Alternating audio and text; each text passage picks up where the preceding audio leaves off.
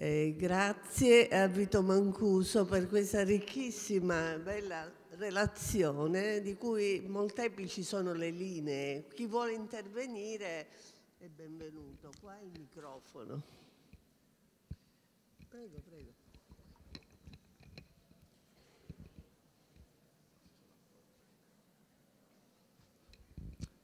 Eh, buonasera, eh, ringrazio il professore Mancuso per questa interessantissima lezione. Desideravo innanzitutto eh, porre l'attenzione sul mosaico che fa da sponda a questa edizione, perché se vedete bene l'albero maestro non è un albero maestro normale, è una croce, perché eh, già a partire da, da un'epistola di Seneca a Lucidio, eh, Ulisse viene esaltato come emblema di perseveranza proprio nell'episodio delle sirene. Ma eh, Paolino Danola e poi Ambrogio insistono sul fatto che questo episodio diventi allegoricamente una immagine della capacità di riuscire a sopportare e a superare le tentazioni. Anzi, Ambrogio in un passo dichiara espressamente non c'è bisogno di farsi legare all'albero come ad una croce, come ha fatto Ulisse. Quindi cita esattamente questo episodio. Cioè nel Medioevo c'è una risemantizzazione della, del mito in funzione dell'episodio delle sirene, in funzione proprio di questa capacità di resistere al peccato. Eh, circa il discorso della giustizia che citava il professore Mancuso, però non è così secondaria la giustizia in Dante, no? penso il 18 eh, Paradiso, diligite justitiam qui judicatis terram, che è un punto fondamentale della tradizione religiosa e che trova anche in, in Dante un suo sostenitore. Devo dire che di tutto questo bel discorso del professore Mancuso non mi ha convinto il riferimento a Leopardi. Intanto se la vogliamo dire tutta, Ulisse fa naufragio, non raggiunge il porto, l'Ulisse dantesco. Certamente si potrebbe obiettare che proprio il fatto di avere comunque cercato una sua strada e, e che non, non, è detto che debba raggiungere un porto è già di per sé una, una meta che ha, in, che ha, indicato. Allo stesso modo eh, il naufragarmi è dolce in questo mare è il naufragio nel nulla, ma eh, nella ginestra, e c'era qualcosa che il professore Mancuso citava della limitatezza dell'uomo rispetto ai tanti infiniti possibili che viene ricordato proprio in quel passo da Leopardi. Leopardi insiste sul fatto che il mettersi in gioco, nulla sottraendo al vero, è lo scopo della vita. Quindi scopo della vita di Leopardi non è quello di mettersi da parte, non fa affatto naufragio. Qualcuno ha tentato di farglielo fare il naufragio, è stato osteggiato, soprattutto da un certo tipo di pensiero cattolico c'è un passo poco mh, riutilizzato, poco riletto, di Giovanni Gentile prima dell'adesione al fascismo, nel tramonto della cultura siciliana, Gentile che certamente come Benedetto Croce era contrario eh, all'atteggiamento eh, classicista, eh, ricorda come a Palermo ci sia stato un fatto credo unico, nessuna università italiana avrebbe mai accettato di dare a Leopardi una, una cattedra. Dopo la morte del Nascè, che era professore di eloquenza latina, Tommaso Gargallo ed altri tentarono di dare la cattedra di eloquenza a, a Leopardi, l'unica università in Italia. Poi le condizioni di salute di Leopardi impedirono questa cosa. Quindi la clericale reazionaria borbonica Palermo, eh, degli anni 30 si era aperta anche al classicista ateo e gobbo che ha combattuto la sua vita nel suo mare dell'essere con grande attenzione e con lotta titanica. Vuoi rispondere ora o raccogliamo un po' come preferisci? Ma no, io non, non,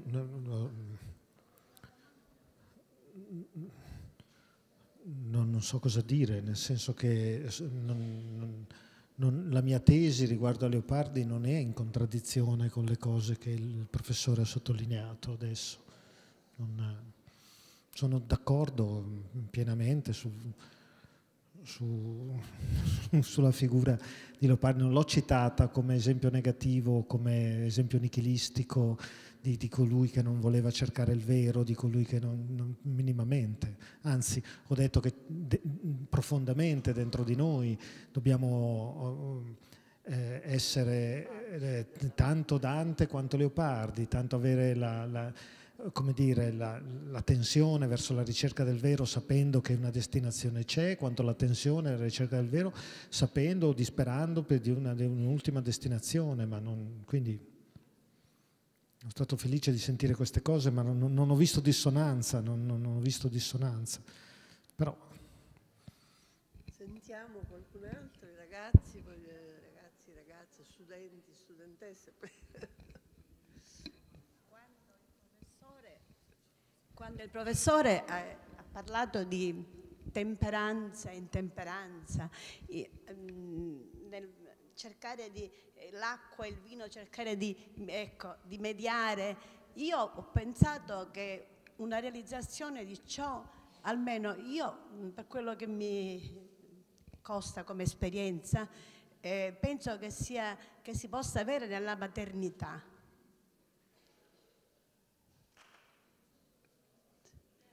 Mi è, venuto, mi è venuto questo pensiero. Grazie, non so se...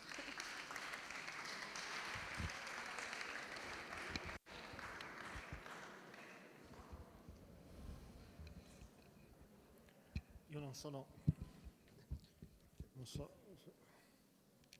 adesso forse così, allora. io non sono molto esperto di maternità. Eh, quindi non, è bello quello che, che, lei ha detto, accettiamo il contributo. Eh, se penso alla mia paternità, ho due figli e, e sì, es, esiste una, una, un momento di, di, di capire quando dire di no e quando dire di sì. Ecco, per esempio i due vasi potrebbero essere questi. Tra l'altro i ragazzi che ci ascoltano eh, vorrebbero avere sempre dei sì, immagino, dai genitori, ma loro per primi sanno che è, è altrettanto importante ricevere dei no. Si cresce ricevendo dei sì e si cresce ricevendo dei no. Se, se fossero solamente no sarebbe, sarebbe sbagliato, se fossero solamente sì sarebbe altrettanto sbagliato e la temperanza sta nel, nel mescere queste due cose, insomma, la, la brocca del sì e la brocca del no. Ecco, questo dico a commento sua, del suo intervento.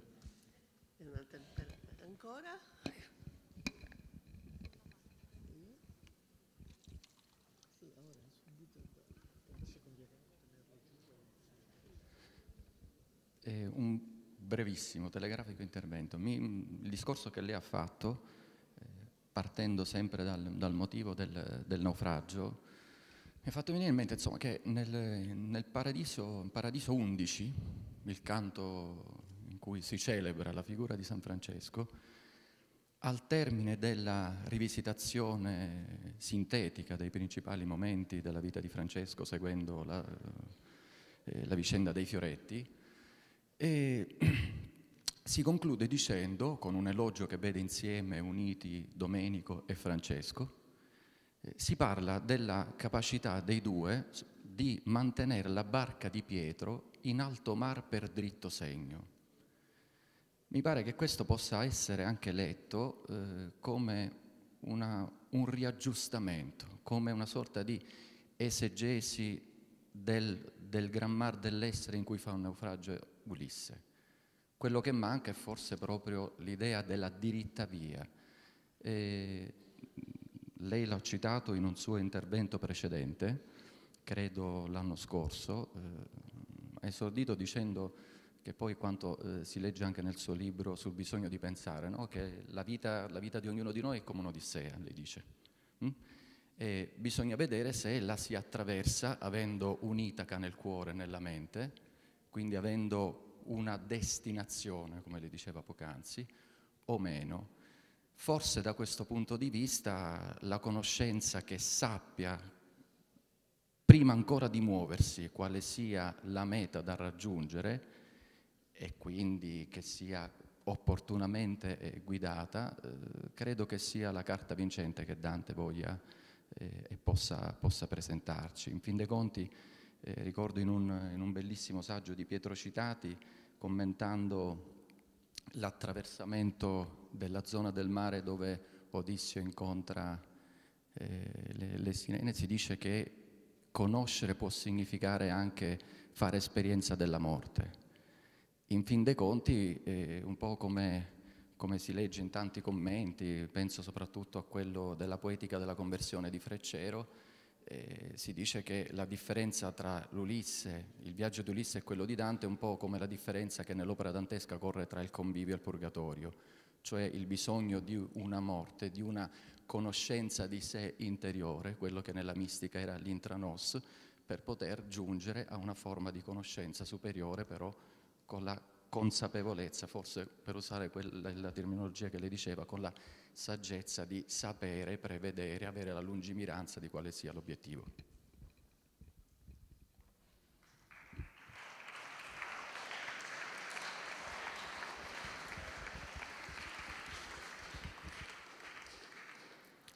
La ringrazio molto di questo intervento, io concordo su, quello, su tutto quello che lei ha detto. Eh, mi, mi viene in mente solo una cosa da aggiungere quando lei diceva dell'importanza di avere un'idea, una, meta da raggiungere. No? io chiedevo a me stesso mentre lei parlava qual è la mia meta da raggiungere, cosa voglio e rispondevo a me stesso quello che qui, quello che già altre volte ho risposto a me stesso, cioè la mia, eh, io penso che il metodo sia più importante del contenuto al riguardo. Sto dicendo in altri termini che per quanto mi riguarda io risponderei alla domanda che cosa voglio, è quello che dicevo prima, la vita autentica, essere autentico, non mentire mai per quanto è possibile. Che non vuol dire, lo dico ai ragazzi qui presenti, non dire mai le bugie, perché a volte qualche bugia nella vita è necessario dirla e così. Il problema sono le menzogne. Un conto sono le bugie che possono servire a celare qualche cosa, così insomma, a bar- barcamenarsi a proposito di navigazione, no, di barcamenarsi tra le correnti della vita. A volte non bisogna, non si può, non si può, semplicemente non si può dire come stanno le cose. E chi pretende sempre di dire il vero, di dire come sta nel può fare un uso cinico della verità. Spiattellare in faccia le cose come stanno eh, può essere una, un, dare dei colpi, no? ferire le persone. Ecco, occorre celare, dissimulare. Però, però queste, qui ci muoviamo sul livello diciamo, delle bugie. Le, le menzogne sono una cosa diversa, soprattutto quelle che si dicono a se stessi le menzogne che si dicono a se stessi. Quando uno continua a ripetere di credere in alcune cose, di non credere in alcune cose, insomma, continua a ripetere, eh, eh, questo è il punto, essere sempre autentici per quanto è possibile, non mentire, non mentire a se stessi. Eh, io penso che questa sia l'idea in altri termini, e chiudo la mia eh, replica, che replica non è un'integrazione a quello che lei, detto, che lei, ha detto, mi vado convincendo che molto più importanti dei contenuti sono i metodi. Io, a me è capitato di, di sentirmi unito a persone che non sono per niente credenti, che hanno una visione del mondo diversa dalla mia, che, che, che, credono al naufragio assoluto e di essere più unito con queste persone talora che non a persone invece che appartengono per così dire alla mia tradizione, ma mi sento che sono più unito perché? Per il, per il metodo. E a volte mi è capitato di non essere per niente unito invece a persone che la pensano diversamente da me, ma anzitutto per la maniera con cui i contenuti vengono proposti, per i, per i metodi, per, per, l'aggressività, per il desiderio di, di, di polemico che, eh, che guida queste cose. Ecco, io penso questo, che sia questa idea che, che più forte deve essere proprio uno, il non mentire mai e due, secondo me, la ricerca, l'idea di una verità sempre più grande, che non, non ci sarà mai nessuno che avrà la verità e quindi la, la, la, che la possiederà in maniera, ma semmai uno deve mirare a essere posseduto dalla verità e quindi armonia quindi cercare l'armonia tra i diversi punti di vista. Chi, come diceva Bohr, le verità profonde contengono anche la contraddizione, allora se io mi espongo in maniera autentica e onesta rispetto a chi la pensa, anche l'opposto rispetto a me, io ne guadagno, aumento nella mia eh, veridicità, nel mio essere veridico, nel mio essere vero. C'era una, una domanda là in fondo. Prego, prego, prego. Però così sentiamo, nessuno sente nulla microfoni, se c'è qualcuno che si offre gentilmente a fare, come si dice, la valletta. Nessuna? Nessuno? Ecco qua, grazie.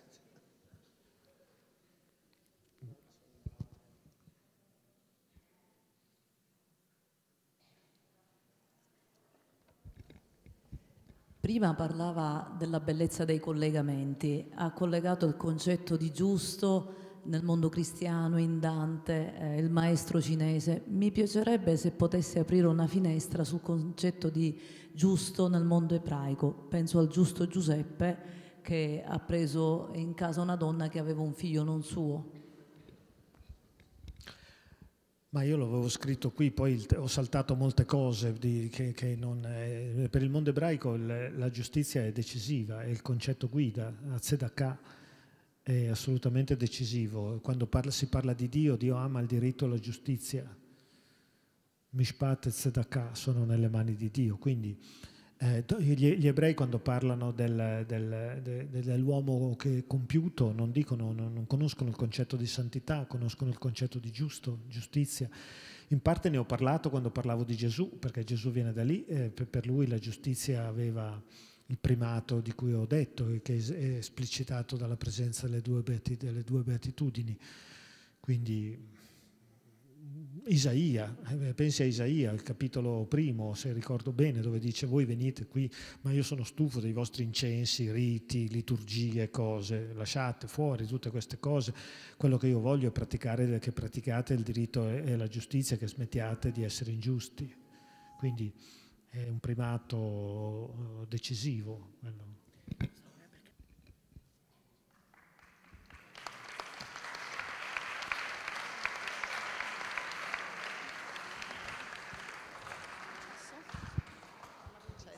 Sì, grazie. Eh, a proposito della mm, contraddizione della prima tesi di Hegel, cui lei faceva riferimento, contraddizio est regula veri, mi piacerebbe trovare un momento risolutivo, una saldatura. Eh, c'è una ricerca di senso in Dante, c'è una ricerca di senso in Leopardi, c'è un approdo in Dante che è oltre questo mondo, eh, è la verità che si identifica col, per lui con la vita, la vita autentica, ma c'è una ricerca di autenticità anche in Leopardi. Volevo ricordare un patto dello Baldone del 1820 che così mh, ripercorro un po' a memoria, eh, non basta intendere una proposizione vera, e a proposito della verità, non basta intendere una proposizione vera, eh, bisogna sentirla, sentirne il senso, provare la, provarne il senso, la persuasione. Eh, quindi al di là di ogni ricerca di tipo razionale, eh, oggettivo, eh, c'è un coinvolgimento che è diciamo, il segno di quel coraggio che eh, è in Dante ed è in Leopardi, e cioè quella mh, dimensione proattiva del cuore che fa cercare, che fa guardare la verità. E dunque parlavamo di giustizia alla giustizia con amore, che poi è l'amore per appunto la verità, per la verità una sua riflessione su questo, grazie. È bellissimo quello che ha detto, la... bellissimo.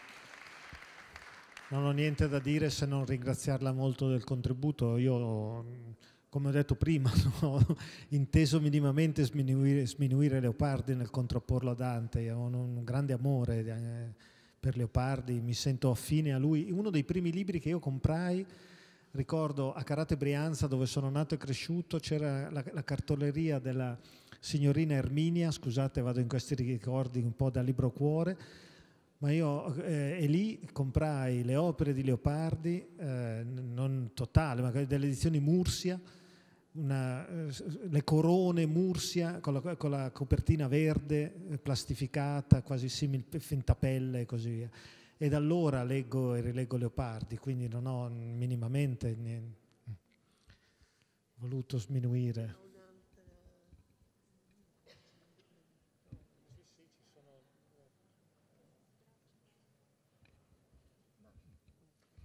Poi volevo aggiungere questo bellissimo, cioè lei, lei, ha detto del sentire, sono perfettamente d'accordo, è bellissimo il fatto che bisogna sentire le cose, bellissimo.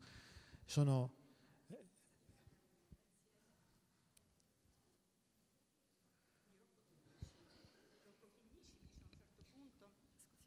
forse mi sentono anche gli altri, Rocco Chinnici in una rarissima intervista, il giudice che istituì il pool antimafia, eh, lo ricordo ai ragazzi, dice a un certo punto eh, il giudice non è solo perché ha la, il codice, la giustizia dalla sua parte, quindi la Costituzione, la legge, eh, cioè ha una verità scritta e questo non lo rende solo, questo senso di non essere solo, eh, di essere parte di una relazione, eh, lo vedo un po' analogo al sentire dei nostri, dei poeti, diciamo ecco.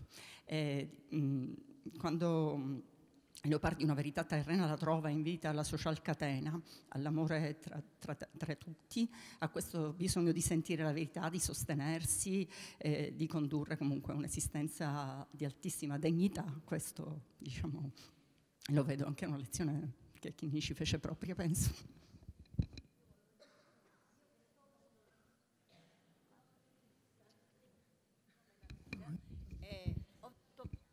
La maturità, cioè mi piaceva moltissimo Leopardi, quindi quello che lei diceva poco fa, questa verità, mi è dolce naufragare in questo mare, oppure lei, proprio lei non, è, non è stato categorico nel dire è giusto quello che dice Leopardi o è giusta un'altra versione. Io per esempio sono un esempio perché da ragazzina ero, mi piaceva moltissimo Leopardi, pur essendo una natura eh, ottimista. E quindi eh, questo dubbio, questo... non so, lei me lo può spiegare? Io, proprio, io ero appassionata da Leopardi.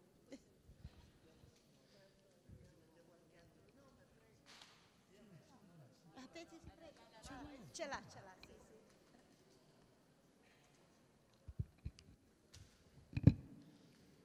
Professore, la ringrazio innanzitutto per la splendida meditazione che ci ha offerto oggi, una delle tante splendide che ho sentito in passato. Mi riferisco un momentino ancora a Giotto. Giotto pone la corona di regina alla giustizia, nel senso che virtù, eh, la preminenza sulle altre virtù, virtù, al punto che anche le virtù teologali lei ha detto possono essere considerate ancelle della giustizia.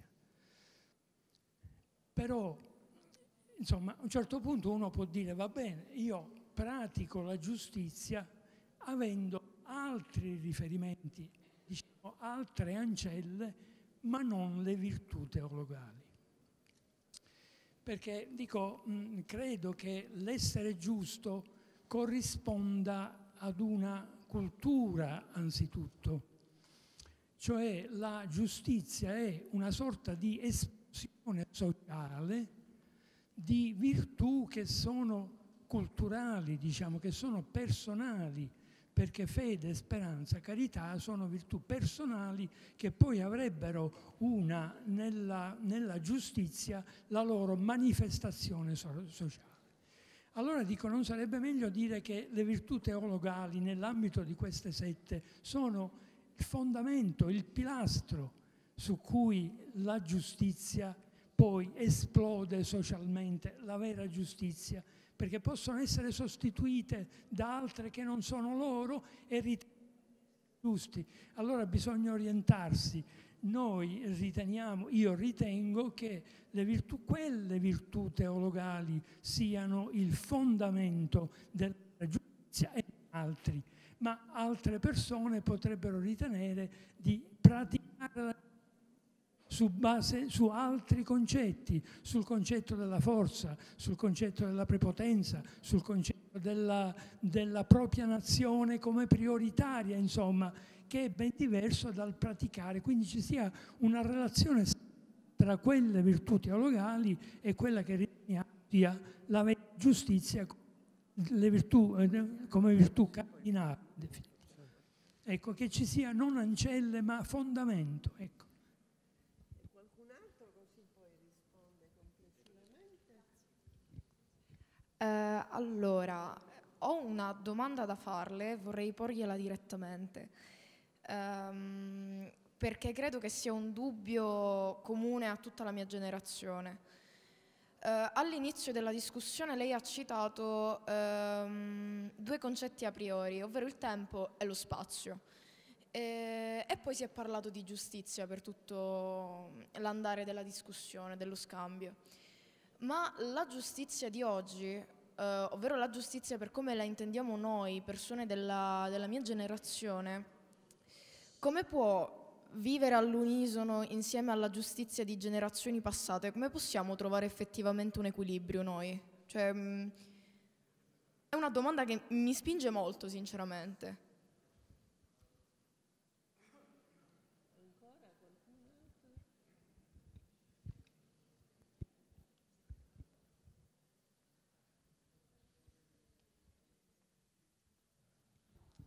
Volevo fare una domanda, anzi due domande molto brevi.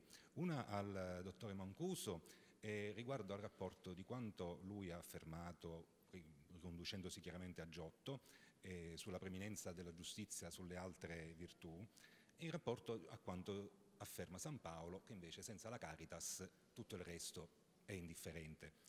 Io mi trovo d'accordo con San Paolo, devo dire, perché mi sembra che il ragionamento tessuto da San Paolo abbia un senso. E poi mh, mi aveva tratto questa idea la professoressa Sacco perché ha fatto riferimento a uno studio di Maria Corti che io ricordo di aver letto molti, molti anni fa. E in quel mh, passo io ricordo che eh, la professoressa Corti parlava della linguositas, adducendo eh, il motivo della condanna di Ulisse proprio come lingua di fuoco, proprio perché eh, essendo un averroista, quindi un aristotelico radicale, eh, propugnava quelle stesse idee, che infatti hanno a che vedere poi con la punizione del fuoco, nelle aree degli eresiarchi, eh, quindi di coloro i quali vedono il mondo diciamo, limitato all'aspetto materiale. Allo stesso modo quindi Ulisse, essendo un cattivo maestro, cioè utilizzando la ragione in modo eh, non retto, eh, in questo modo mentiva sapendo di mentire e le prove sarebbero, secondo questo studio, anche nel lessico utilizzato dal, da, da, Ulisse, quando dice una piccola barca, una piccola razione, come, dire, come quando i bambini dicono ah ma io ho fatto un piccolo errore, cose, cose da niente, è quasi come essendo una vittima e il fascino a questo punto che Ulisse eh, attira tanti sarebbe un, un mito quasi prometeico, eh, di sfida, di andare oltre, ma in realtà tutto eh, nasce da un errore, da un fraintendimento, cioè di un uomo che vuole andare dove in realtà si va solo se invitati, come Dante che viene chiamato e non va con i suoi piedi, con la sua volontà. Eh, volevo sapere mm, cosa ne pensava la professoressa. Sentiamo prima qualcun altro e poi chiudiamo, vero? Perché il pubblico sta. C'è ancora qualcuno con cui concludiamo il dibattito? Mi sentite? Faccio io pure? Salve. Innanzitutto la ringrazio per eh, il suo intervento e mh, mm, volevo semplicemente richiamare un attimino, prendere spunto dalla domanda della ragazza prima che si chiedeva eh, come fare a conciliare la giustizia del passato con quella del presente. Io dico, ti darei la mia risposta, secondo me è qualcosa che deve essere processuale, la, la giustizia, deve essere qualcosa su cui riflettere, quindi un, qualcosa di giusto a priori io non, non, te la saprei indicare, né nel mio passato né nel, nel presente. Sicuramente, professore, l'unica cosa che volevo uh, sottolineare da insegnante è che parlando di giustizia mi sembra fortemente ingiusto quello che si verifica uh, nel nostro paese così Ecco, parlo del nostro paese. la mancanza di strumenti linguistici nelle mani delle generazioni mh, che io incontro ogni giorno. A volte è desolante eh, avvertire il fatto che non si capiscano parole di ordinaria amministrazione. Eh, ho apprezzato moltissimo il, il, suo ricorso alle etimologie perché forse mh, a volte riflettendo sul mio lavoro dico dovremmo chiudere, abbandonare qualunque idea di programma che già è stata cancellata dico istituzionalmente, però è, è aprire e leggere libri con, eh, con gli studenti per eh, dare possibilità di espressione. Non è giustizia questa, mi chiedo, avere la possibilità di pensare, di, di, di dare veste a, ai pensieri di cui ci ha parlato. Io eh, mi confronto molto sempre, ogni giorno di più con eh, ragazzi che non hanno eh, strumenti e quindi ripenso forse alla giustezza eh, dell'azione di personaggi come Don Milani che battevano e, e avevano a mio avviso centrato un problema che era antico per noi ma che è contemporaneissimo. Lei ha, ha esordito dicendo che il mondo di Dante era profondamente diverso dal nostro. E io ricordo sempre ai miei studenti che la cultura di massa è una novità assoluta, è qualcosa di nuovissimo. Non, eh, tu, tutto quello che abbiamo studiato a scuola era riservato a delle elite che eh, conservavano potere, eh, amministravano la giustizia. Oggi forse giustizia non sarebbe prima di tutto avere gli strumenti per poter pensare e dare contenuto alle cose che, che si pensano. Grazie. E ora eh, la parola appunto al professore Mancuso. Sì, eh, scusate. A... Posso? Velocissimamente. Sì, eh, velocissimamente. Io sempre su quella domanda di quella ragazza, la mia generazione, che viene un po' prima di quella del, di Mancuso, ha poi ascoltato anche Martini, ma prima ha fatto cortei in cui si diceva il CE è vivo e lotta insieme a noi. E volevo leggere questa frase del CE a proposito di giustizia. Crescete come buoni rivoluzionari, era la lettera ai figli, eh, prima che fosse ucciso in, in Bolivia. Studiate molto per poter dominare la tecnica che permette di dominare la, nat- la natura. Ricordatevi che l'importante è la rivoluzione e che ognuno di noi solo non vale nulla. Soprattutto siate sempre capaci di sentire nel più profondo qualsiasi ingiustizia commesso contro chiunque in qualunque parte del mondo. È la qualità più bella di un rivoluzionario. Ecco, ho letto questa frase del CE perché io credo che invece ci siano delle immanenti nel concetto di giustizia la mia generazione era convinta che fosse ingiusto che ci fosse gente che avesse anche il, superfluo e gente invece a cui mancava l'indispensabile. Io credo che questo rimane e rimanga un valore per sempre e credo che su questo si possa anche discutere fra generazioni. Un'ultima cosa, no, si faceva un riferimento a Milani, no, ho, fini, ho finito, volevo chiedere a Mancuso se ritiene che questa concezione di giustizia eh, di Che Guevara eh, sia compatibile con quella che lui ha illustrato prima. Eh, l'altra valutazione, concludo, eh, Milani eh, per esempio in una cosa, in un passaggio diceva mi sta a cuore. Ecco, l'altra cosa che io ritengo eh, si colleghi alla giustizia questa dimensione di ricerca della giustizia attiva quindi del, dell'impegnarsi e del lottare per un mondo più giusto. Eh, grazie a tutti per aver partecipato. Ora passo eh, la parola a Vito Mancuso. Vorrei soltanto accennare, siccome sono stata chiamata in causa, la tesi averroistica di Maria Corti, una delle tesi più suggestive e più importanti della riflessione sul personaggio di Ulisse. Ma mi limito qua perché sarebbe un discorso piuttosto complesso perché domani il tema centrale sarà proprio il ruolo di Ulisse eh, nella commedia, quindi domani potremo riprendere il discorso. La parola a Vito Mancuso. Allora io ho cinque domande davanti a me, sono tutte molto importanti e molto complesse e quindi dico subito che sarò breve e quindi superficiale, inevitabilmente. Eh, allora, la prima eh, diceva delle virtù teologali come fondamento rispetto alle virtù cosiddette cardinali, no? il fondamento. Io penso di essere d'accordo su questa impostazione perché noi abbiamo bisogno di un fondamento, se, vuole, se volete un'altra immagine forse più eh, efficace, possiamo parlare di distributore di carburante. Essere giusti non è facile non è per niente facile. Così come non è per niente facile essere saggi, così non è per niente facile le altre due. Occorre carburante.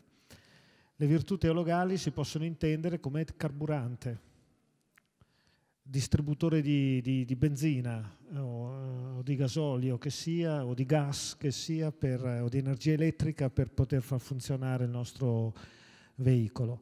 Eh, aggiungo solo le virtù teologali, secondo me eh, de- si, si, devono pensare anche al di fuori della prospettiva cristiana. Io penso che in ogni essere umano, credente o non credente, vi sia una dimensione di fede, una dimensione di speranza, una dimensione di carità. Ogni persona che ha a cuore la giustizia veramente ha fede nella giustizia, perché se uno guarda il mondo così com'è oggi, non, non, non, non è che la giustizia è quello che appare in prima battuta, anzi quello che appare in prima battuta molto spesso sono esperienze di ingiustizia. Allora se uno sogna la giustizia, questa utopia della giustizia, è perché ha una fede nella giustizia, sente dentro di sé, questa è la dimensione interiore dentro di sé, che la giustizia deve avere il primato, ma come faccio ad, ad alimentare questa cosa? Da dove viene? Eh, perché poi, poi, spesso succede che il mondo mi scoraggia, che non riesco a fare la rivoluzione, che non riesco a cambiare le cose che, e, allora, e, allora, devo avere de, delle fonti di energia per non essere scoraggiato e deluso e risentito. Ed ecco qui quindi fede, la fede, la speranza, la carità che si possono anche ritradurre laicamente. La seconda eh, domanda, la giustizia come la intendiamo noi giovani, in che, in che, modo si collega con la giustizia del passato? È innanzitutto una domanda di tutte le generazioni, non è solo una domanda della tua, è una domanda della genera- di, di, di, di tutti i giovani. Non solo, è una domanda anche dei non, dei non giovani. Pascal, per esempio, oh, nei, nei, suoi pensieri dice, ma guarda, è il, un meridiano che eh, de, de, definisce quello che è giusto e ingiusto, perché da una parte di un confine una cosa si può fare, basta che fai un passo e giungi in un altro stato, quest'altra cosa non si può fare. Quindi tutto sembra... Allora qui è importante distinguere giustizia e legalità. Questa è la distinzione decisiva. La legalità cambia, le leggi cambiano cambiano oggi rispetto a quelle di ieri, quelle di ieri rispetto a quelle dell'altro ieri, quelle di Atene rispetto a quelle di Sparta, quelle di, di, di Hammurabi rispetto a quelle di Mosè, tutti i legislatori, la, la, la Costituzione francese è diversa da quella americana, eccetera. Quindi ci possono essere delle assonanze, essere, la legalità cambia. La legalità è le, il tentativo degli uomini di, di, di, essere sempre più vicini, sempre più eh, attenti, sempre più capaci di tradurre in pratica eh, la giustizia, ius. Giustizia noi in italiano non la capiamo mh, mm, come collegata direttamente a diritto, ma in, basta pensare in latino, ius e justizia, eh, per capire che come eh, stultizia, eh, come eh, cioè l'essere stolti e poi la stultizia, l'essere ius, l'essere giusti e poi la giustizia. La giustizia è ciò che, ciò che personifica l'ipostasi del, dell'essere giusto. E quindi e quindi è questa cosa, è, è il diritto, l'essere è addirittura, quello che diceva Dante, addirittura. Ma questa è una cosa che tutti gli uomini di tutti i tempi sentono. Gli antichi egizi, 4.000, 5.000 anni fa, dicevano che la nostra anima alla fine verrà pesata E se parlo della psicostasia degli antichi egizi è perché la bilancia è un simbolo della giustizia. Questo è un archetipo. Qui abbiamo a che fare con qualcosa che, eh, che ha a che fare con l'anima umana di tutti i tempi, di tutti i luoghi. L'anima umana in, proprio nel senso di anima spirituale, nel senso di anima eh, dotata di capacità di indignazione rispetto, eh, e di ribellione rispetto alle condizioni ingiuste per volere non il proprio interesse, ma la giustizia per tutti, il bene comune. E quindi c'è la bilancia. Io penso che questo si accomuni gli esseri umani. Ma prima hai sentito Meng Tzu. Meng Tzu è, è di 2400 anni fa, in Cina. Cioè, quindi un altro tempo, un altro, e non hai sentito che sono vicine a te quelle parole di Meng Tzu? Non le hai sentite? No, magari no, eh, magari, ma io che più o meno dico, appartengo alle stesse coordinate spazio-temporali tue, eh, rispetto a Meng Tzu le, le, sento e penso a qualcun altro, le sento come, le, le sento come profondamente veritiere. Eh, e così se legge il libro dei morti dell'antico Egitto. Quindi eh, bisogna distinguere legalità e giustizia. La legalità cambia, e quindi, e, e quindi possono effettivamente esserci delle differenze tra generazioni, eh, ma la giustizia nel senso di qualcosa di ius, del diritto, che è più di lex legis, ius iuris, questo è qualcosa che è interiore ad ogni singolo essere umano, responsabile, vero, veridico, autentico. Ed è quello che ci unisce. Ed è molto bello pensare che oltre alle differenze c'è qualcosa che ci unisce, che gli uomini di tutti i tempi, di tutti i luoghi hanno qualcosa che li unisce. Questo è molto bello.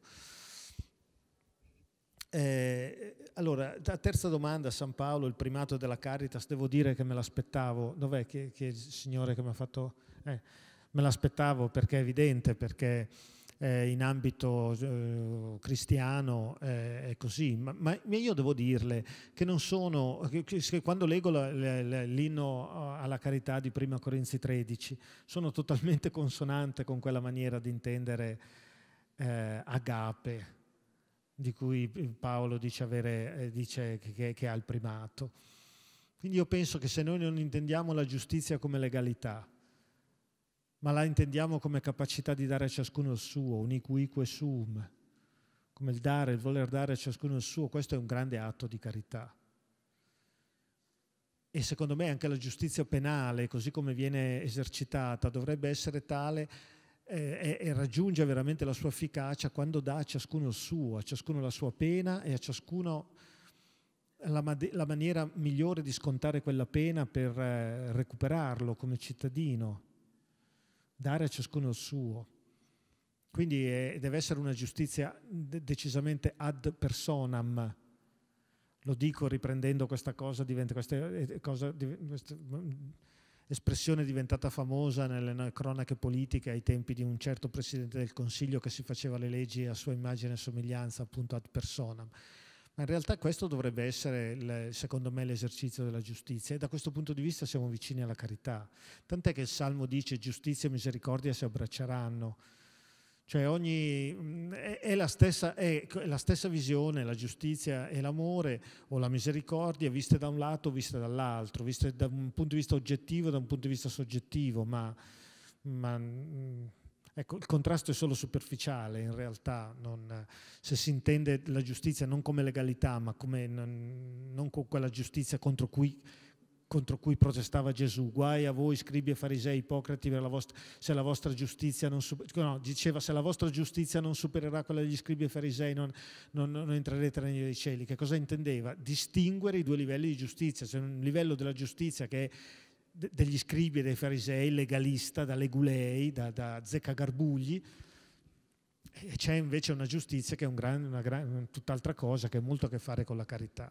E devo dire che c'è anche una certa maniera di intendere la carità che, è, che, che, che mm, pecca, che pecca perché non sa rendere giustizia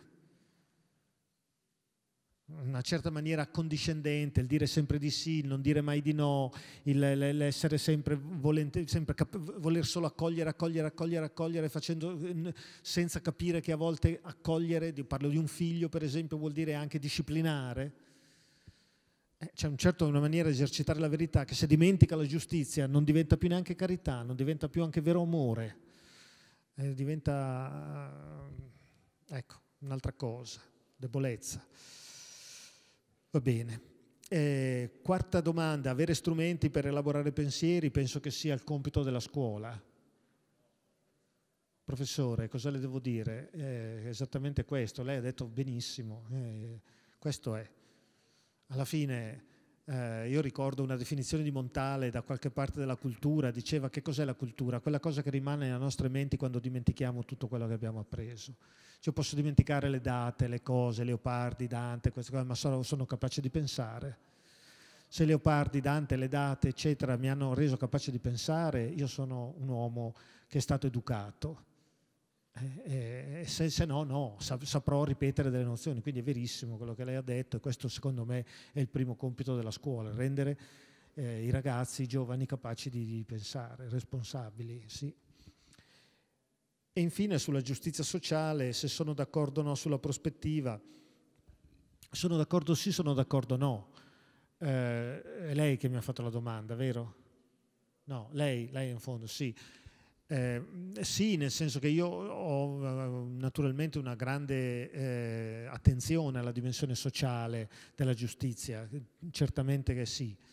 Certamente. Non sono d'accordo nel, nel, nel, nel, pensare che il cambiamento delle condizioni eh, sociali, politiche economiche siano tali da cambiare l'essere umano, non necessariamente così. Ecco, quell'idea, cioè che la, la la società, la struttura politica è più importante del singolo, ecco questa idea eh, che, eh, infatti anche Che Guevara che ha citato lei, da soli non valiamo niente, ecco io non penso, io non penso così, io penso che, che da soli possiamo valere tantissimi e che anzi il fine è quello di essere soli ultimamente, cioè di, di, nella, di essere ricolmi della propria individualità, di saper stare da soli. Il fine è quello, il fine non è partecipare, essere sociali, essere nel... Lo, dico, lo, dice uno che, che, eh, è stato ricordato dalla professoressa all'inizio, per me la dimensione relazionale è decisiva. Quindi non è che io penso a me stesso come una monade, io penso a me stesso come un elemento inserito all'interno dei sistemi, ma i sistemi di cui io faccio parte sono tali nella misura in cui e funzionano e sono da abbracciare nella misura in cui sono tali da non mortificare la mia individualità. No, io dico di no con forza a ogni forma di collettivismo, sia il collettivismo politico, sia il collettivismo ecclesiastico, dove uno deve appunto alla fine essere una fedele pecorella della Chiesa, fedele pecorella di niente, né della Chiesa bianca, né della Chiesa rossa, né di nessun, personalmente penso che di nessun partito. Di il, il fine è l'individuo, il singolo capace di indipendenza, di autonomia, di elaborazione di pensiero autonomo e di, eh, appunto, di indipendenza. Quello che diceva Pietro Belardo qualche secolo prima di Dante quando diceva si omnes patres sic at ego non sic, cioè se anche tutti i padri e tra i padri della Chiesa ci possiamo mettere anche Che Guevara, che è un padre della Chiesa, se anche tutti loro pensano così, at ego non si, io però non così, cioè a, a me sta a cuore quella possibilità di dire at, di dire ma, di dire ma io però no. Cioè questo è, la, è lo scatto, questa capacità di elaborare pensiero, di diversità è, è lo scatto che crea la vera libertà. Poi posso anche sbagliare. Non è che se uno dice at ego non sic avrà sicuramente, può anche sbagliare. Eh, eh, hanno ragione tutti gli altri e sbagli tu, va bene, ma come dicevo ancora prima, la cosa importante decisiva è il metodo. È molto più importante, eh, come dire, eh, eh, raggiungere una prospettiva dove vai fuori strada ma ci vai con le tue gambe, quindi sei un individuo pensante, no? che una prospettiva che ti porta anche nella strada cosiddetta giusta, ma sei fin, rimanendo sempre una, una, pecore, qui, una pecorella, più o meno può essere bianca, può essere rossa, ma sempre pecorella è. Questa è la mia convinzione, io penso in altri termini e concludo che la vera rivoluzione è interiore, è qui dentro, nel mare dell'essere interiore che si gioca la partita. Grazie dell'attenzione.